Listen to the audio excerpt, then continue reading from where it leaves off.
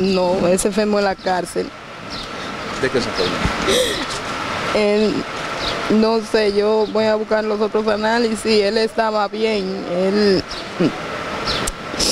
yo le hice unos análisis, salió con la azúcar muy alta y le llevé los resultados allá para que me lo sacaran y me lo medicaran y ellos no pusieron asunto y nunca lo sacaron de la, de la cárcel esa, no quisieron atenderlo, no lo quisieron mandar aquí al hospital ni nada.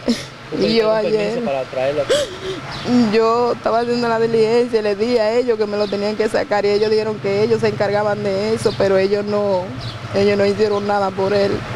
¿Cómo, se llama el joven? ¿Cómo se llama? Por la negligencia de la Sí, por la negligencia, porque yo le llevé los análisis y él dijo que, que yo no era médico para decirle qué hacer, porque yo le dije al, al subdirector, me parece que era, que él tenía el azúcar en, ciento, en 400 y pico y le enseñé el valor que es normal y, y, le dije que él necesitaba que lo sacaran de ahí para que lo medicaran en el hospital, porque allá no hay médico, allá hay un médico, pero es un médico para una emergencia de un caso. ¿Cuántos días tenía él así?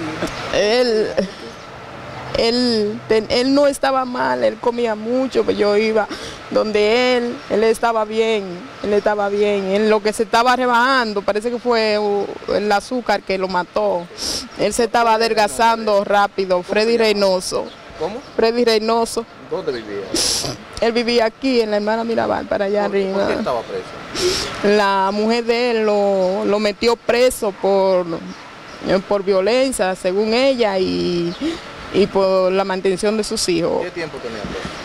Eh, le cantaron tres meses preventivos y volvieron y lo subieron y le cantaron tres meses más. Y tenía 15 días que lo habían subido.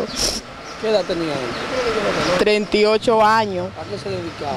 Él trabajaba construcción, pero ellos no le pusieron asunto porque yo le llevé los análisis ayer y me, y me quedé ahí un rato a ver si ellos me iban a dar información de eso y le dije que él estaba vomitando la sangre y ellos no me pusieron caso, me dijeron que no, que era, que era alteraciones, que él no estaba tan malo, que fue que había vomitado un chingo. Yo le dije, pero ellos no me van a alterar tanto, que yo busqué una persona para que me llamaran y me tuvieran al tanto de él.